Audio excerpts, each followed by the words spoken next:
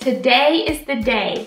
It's our first featured session of the Love Your Home series, and we are kicking things off in a big way. We are so excited to announce that our first featured service is a restyle session with Guenther Design Group. We are giving away a four hour restyle session with Ben and Allie Guenther, who will work with you to transform a room in your home to something fabulous whether that be a bedroom that isn't quite as put together as you hope, or a living room that is in need of an overhaul to be both cozy and stylish. We're giving you the chance to walk into your space and fall in love with your home all over again.